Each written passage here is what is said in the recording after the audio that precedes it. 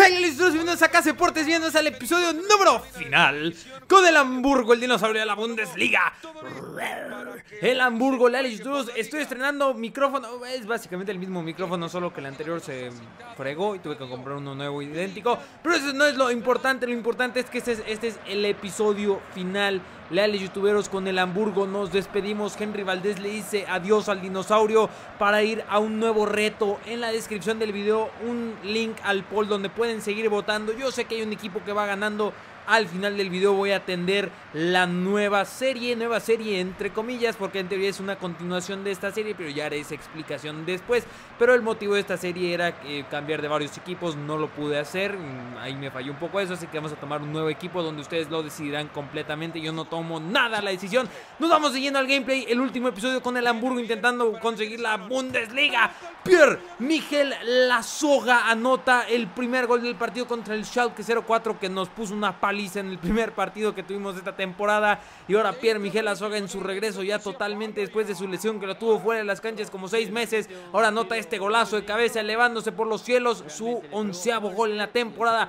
Pierre Miguel Azoga, pero ahora traca el Schalke 04 con el Schalke 04 con Bayer, con Uchida, con Klaas Jan Huntelaar. Klaas Jan Huntelaar que en la realidad lleva muchos, muchos minutos sin anotar gol. Aquí a nosotros nos anota un muy bello gol después de que Uchida le pone ese balón filtrado a Uchida, digo Bayer a Uchida y Klaas Jan Huntelaar anota su gol número 17. Y no solo eso, Kevin Prince Boateng anota este golazo con una media volea, una semivolea. Timo Horn intenta poner los brazos, pero fue un balazo, nada que hacer para Timo Horn.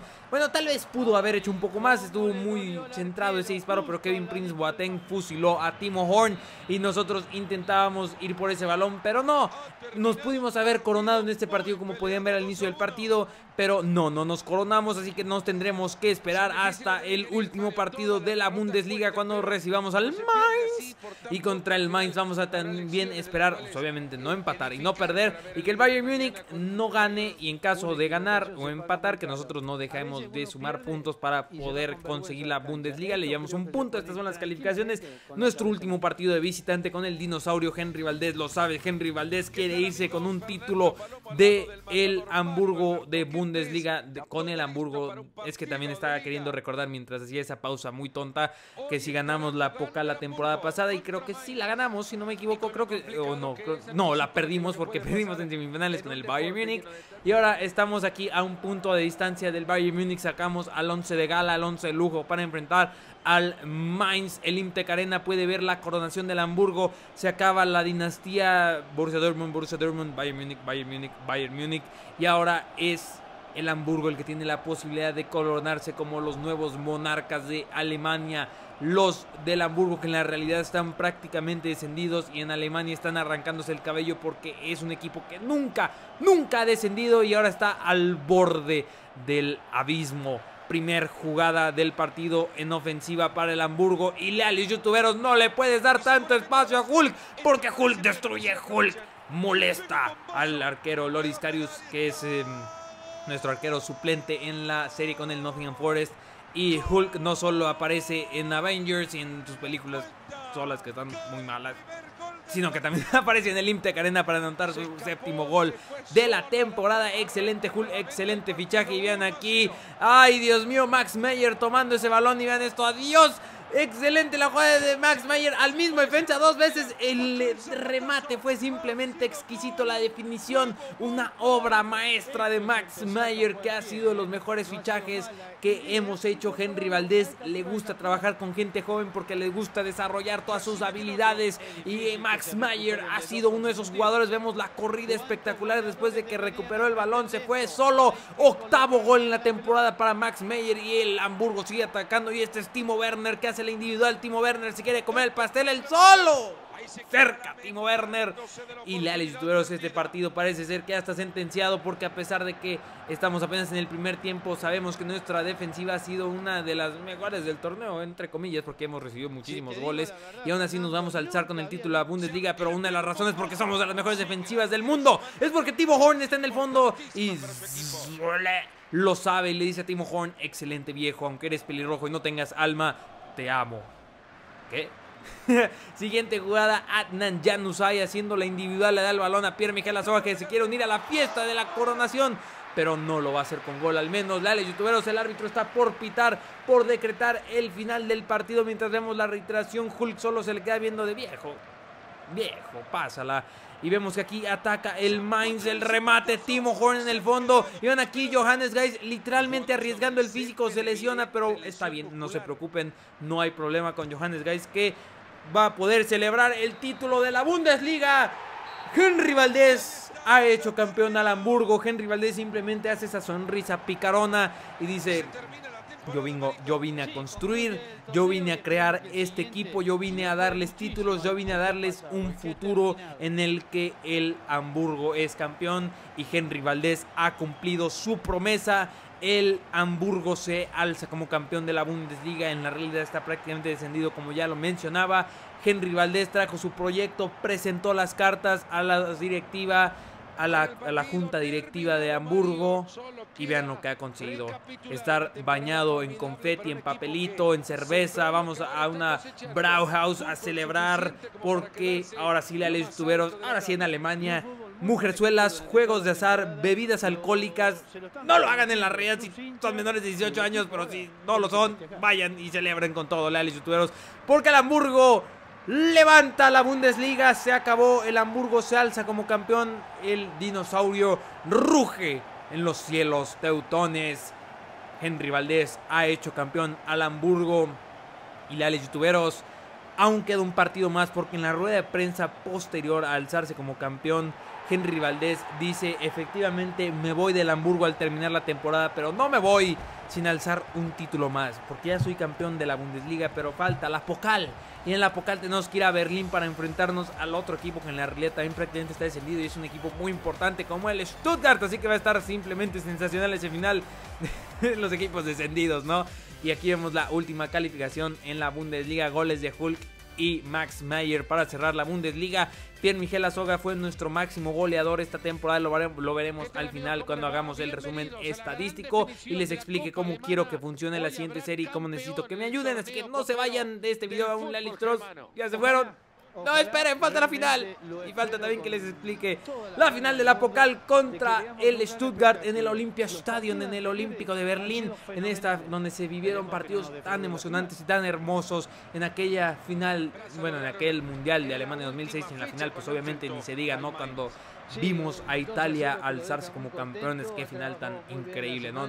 yo creo que el que haya visto ese final nunca lo olvidará. Y ahora el que vea esta final, el que sea aficionado del Hamburgo, simplemente aficionado al fútbol y la vea, Henry Valdés quiere salir a dar espectáculo porque ya ha conseguido el título, ya consiguió la hazaña. Ahora es hora de enfrentarse al Stuttgart que tiene a Ulreich, a Oriol Romeu, a Alexander Maxim, a Ibisevic y nosotros tenemos a Timo Werner, Antonio Rudiger también lo tienen. Y este es Hulk, otra vez le dieron espacio para que corra Hulk, explota Hulk corriendo por las montañas, los desiertos, brincando en realidad. Y el remate de Pierre Miguel Azoga y Sven Ulreich en el fondo muy bien. Pero le tuvimos malas noticias para el Stuttgart porque vemos que Antonio Rudiger, su central promesa, sale lesionado y esto es un problema. Y ahora ataca el Stuttgart. El remate, el travesaño.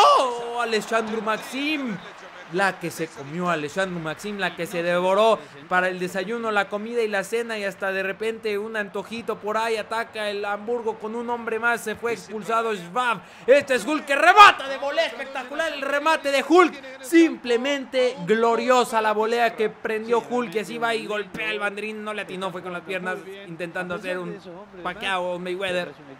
Excelente el centro y vemos el remate de Hulk toda la habilidad física, corporal para acomodar el cuerpo. Minuto 90, vean aquí la jugada ya hay con Timo Werner. Timo Werner para anotarle a su ex equipo. No, mejor Pierre Miguel Azoga para que no haya problemas ahí. Pierre Miguel Azoga, quien estuvo lesionado, cierra la temporada con este gol. Minuto 90 y ahora sí este sí es un, un Mayweather o un Pacquiao, ¿no? Y Pierre Miguel La Soga.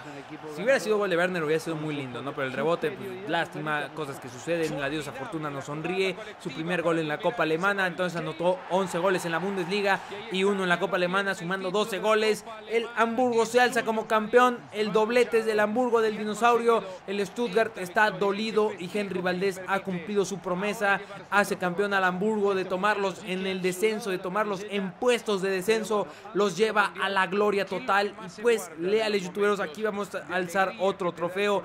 Henry Valdés ya comenzó a hacer las maletas porque ya en la descripción del video ustedes deciden el equipo. Yo no tengo nada que ver en la decisión, no va a ser de que bueno, con lo que ustedes hayan decidido voy a hacer alguna... No, no, no.